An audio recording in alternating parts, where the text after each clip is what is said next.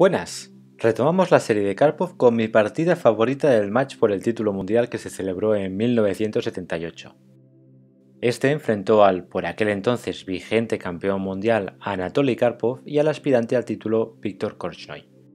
Fue un match que se disputó en las Filipinas y fue extremadamente polémico, ya que Korchnoi era visto como un desertor de la antigua Unión Soviética. A título de anécdota, Korchnoi usó gafas de sol mientras jugaba, ya que decía que el equipo de Karpov había contratado un parapsicólogo para que le influenciara negativamente en el transcurso de la partida. Bien, dicho esto, vamos a centrarnos en lo ajedrecístico.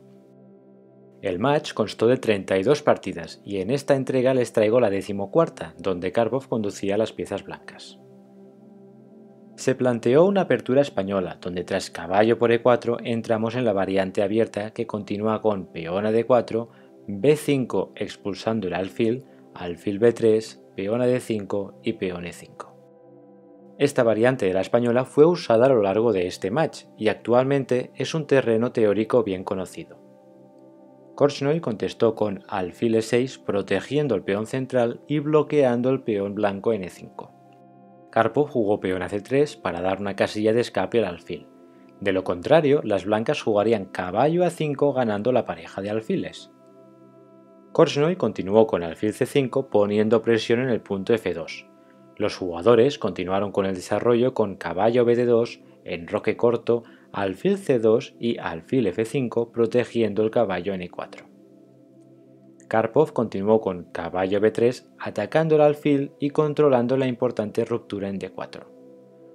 Korchnoi jugó alfil g4 aprovechando la clavada y el hecho de que los caballos ya no están enlazados. Aquí hay múltiples posibilidades, caballo por c5, dama e2, peón a4, pero Karpov jugó la novedad en aquella época, peón a h3. En líneas generales no es aconsejable cambiar el alfil de casillas blancas en esta posición. Esto es debido a que su análogo blanco no tendría oposición en la importante diagonal que va de B1 a H7. Sin embargo, en esta posición era mejor tomar en F3, ya que el blanco tendría que retomar de peón con G por F3. De lo contrario, se perdería el peón de E5 y las negras estarían mejor.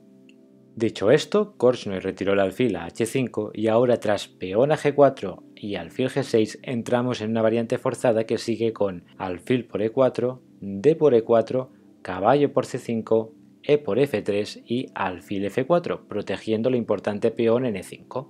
Korchnoi intercambió damas tras dama por d1, torre de a por d1 y a continuación la importante jugada caballo d8. Este movimiento pretende reciclar el caballo a la casilla clave E6, donde bloqueará el peón en E5 y se intercambiará por el caballo blanco fuerte en C5. Karpov aprovechó para colocar la torre en séptima con torre de 7.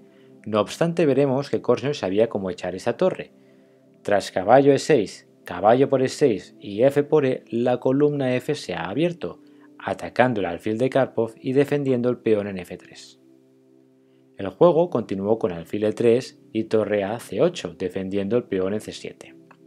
Las blancas doblaron torres con torre f d1 y Korchnoi jugó alfil e4 centralizando su pieza menor. Karpov jugó alfil c5 atacando la torre y tras torre f e8 las blancas también retiraron su torre a la casilla d4. Ahora veremos que ambos jugadores van a mejorar sus respectivas posiciones con alfil d5, peón a b3, defendiendo el peón en a2, peón a A5 movilizando el flanco de dama, rey H2 mejorando el rey de Karpov, torre A8, rey G3 y torre A6 defendiendo por tercera el punto débil N6.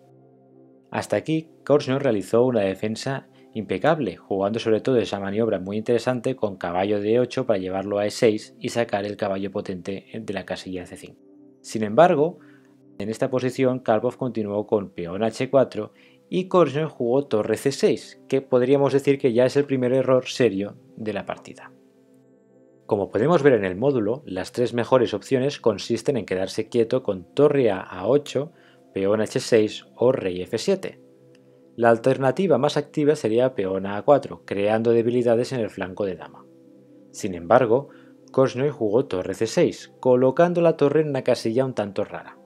Para entender exactamente esta posición, voy a preguntarles lo siguiente. ¿cuál creen que es la mejor pieza de Korchnoi? La pieza estrella es el alfil centralizado en D5, apoyado por el peón de E6 y defendiendo el molesto peón en F3. Por otro lado, las dos torres negras están en columnas cerradas y con una actividad limitada cuanto menos. Así pues, Karpov vio que eliminando el alfil de D5, Korchnoi se quedaría con dos torres pasivas sin el peón central y con peones débiles. En base a esto, Karpov realizó el magnífico sacrificio de calidad torre por D5. Tras E por D5 y torre por D5, podemos ver que ahora a le gustaría jugar peón a C6, expulsando la torre blanca y tomando el peón central de E5. Sin embargo, la torre de C6 obstruye el camino del peón. Por eso el juego siguió con torre C de 5 y alfil de 4 defendiendo el importante peón de E5. Ahora sí, Kosner jugó peón a C6, que lleva la torre de Karpov a la casilla pasiva C5, pero que no pierde el peón de E5. No obstante, veremos que Karpov va a preocuparse de dar actividad a la torre movilizando los peones del flanco de dama. Korchnoi continuó con torre F8 defendiendo el peón de F3. Sin embargo, esta jugada es el segundo error y ya decisivo de la partida. Veamos el porqué. El módulo recomienda como jugada única torre de 8. Si continuamos con esta variante, veremos que tras rey por F3, torre de 5, torre por D5 y C por D, hemos llegado a una posición de alfil contra torre. Aunque las blancas siguen estando mejor, las casillas blancas van a quedar débiles, ya que el alfil de Karpov nunca podrá controlarlas. Es por eso que Korchnoi podría intentar algún bloqueo en las casillas blancas con el apoyo de la torre y el rey. Volvamos a la partida. Tras torre F8, Karpov jugó peón a A4, con la idea de activar su torre pasiva en C5. Tras el cambio de peones, Korchnoi jugó peón a g6, dando una casilla de escape al rey. Fíjense que la torre de e6 no puede acudir a la defensa del peón de a5. Una vez más, podemos ver lo poco eficiente que está resultando la torre negra. Karpov capturó el peón y Korchnoi respondió con torre e8, reconectando las torres. Las blancas llevaron su torre a la séptima fila, pero las negras jugaron torre f7 y Karpov tuvo que retirar la torre a a6. Es muy importante no cambiar la torre blanca, ya que es la única pieza que puede controlar las casillas blancas, tal y como comentamos en la variante que vimos anteriormente. Korchnoi defendió el peón de c6, pero entonces Karpov puede jugar alfil c5.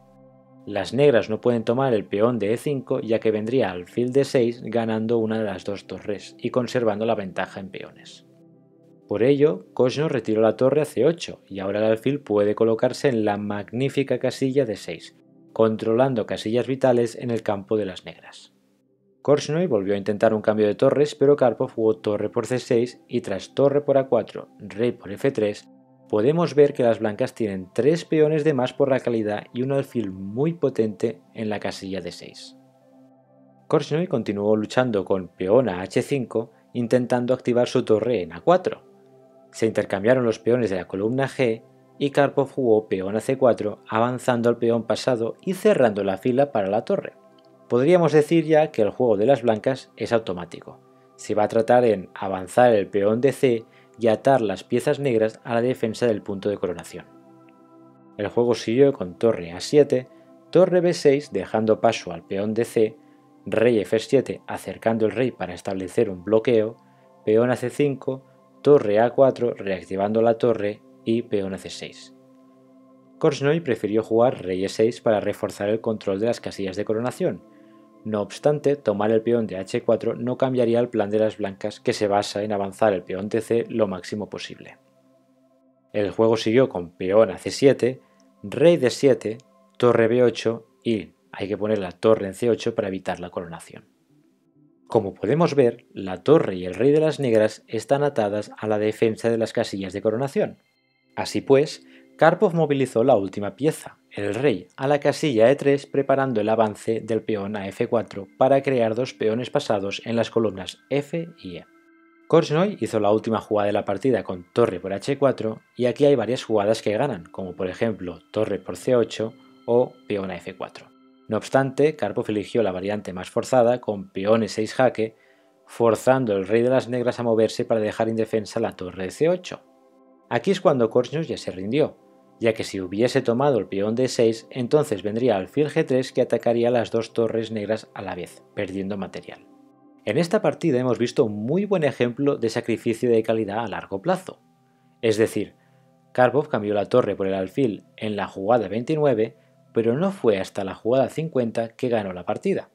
Una conclusión importante a recordar es que en caso de tener una situación de alfil y torre contra dos torres, el bando con el alfil tiene que conservar su torre a toda costa. De lo contrario, las casillas opuestas al alfil van a quedar débiles. Con este resultado, Karpov se ponía dos victorias por delante de Korsnoy y a tres de revalidar el título.